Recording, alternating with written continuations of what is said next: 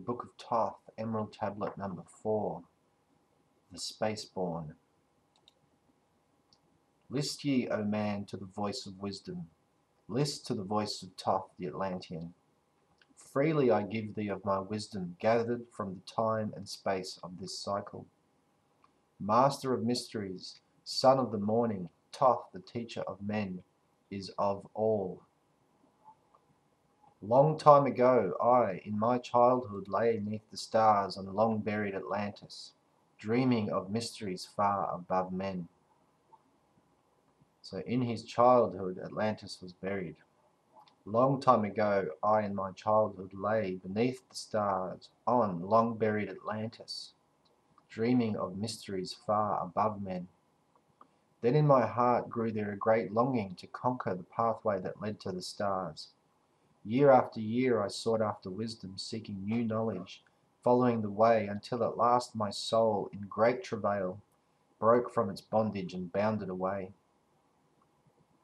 It's a type of astral travel, I think he's implying. And free was I from the bondage of earthmen, free from the body. I flashed through the night. Unlocked at last for me was the star space. Far was I from the bondage of night, now to the end of space sought I wisdom, far beyond knowledge of finite man. Far into space my soul travelled freely into infinite circle of light. Strange beyond knowledge were some of the planets, great and gigantic beyond dreams of men. Yet found I law, in all of its beauty, working through and among them as here among men. Flashed forth my soul through infinite's beauty, Far through space I flew with my thoughts. Rested I there on a planet of beauty. Strains of harmony filled all the air. Shapes there were, moving in order, great and majestic as stars in the night, mounting in harmony, ordered equilibrium, symbols of the cosmic, like unto law. Many the stars I passed in my journey, many the races of men on their worlds. Some reaching high as stars of the morning, some falling low in the blackness of night. Each and all of them struggling upward, gaining the heights and plumbing the depths. Moving at times in realms of brightness, living through darkness, gaining the light. Know, O man, that light is thine heritage. Know that darkness is only a veil. Sealed in thine heart is brightness eternal, waiting the moment of freedom to conquer, waiting to rend the veil of the night. Some I found who had conquered the ether. Free of space were they while yet they were men. Very interesting. Some I found who had conquered the ether. Free of space were they while yet they were men. Using the force that is the foundation of all things Far in space constructed they a planet, drawn by the force that flows through the all, condensing, coalescing the ether into forms that grew as they willed. Outstripping in science, they, all of the races, mighty in wisdom, son of the stars. This last sentence is important. Outstripping in science, they, all of the races, mighty in wisdom, son of the stars. They had the best technology to the point that telepathy could turn into a action and create large events using the basic force of the ether. It sounds, sounds very incredible. Long time I paused watching their wisdom, saw them create from out of the ether cities gigantic of rose and gold, formed forth from the primal element, base of all matter, the ether far flung. Very impressive race, whoever they might be.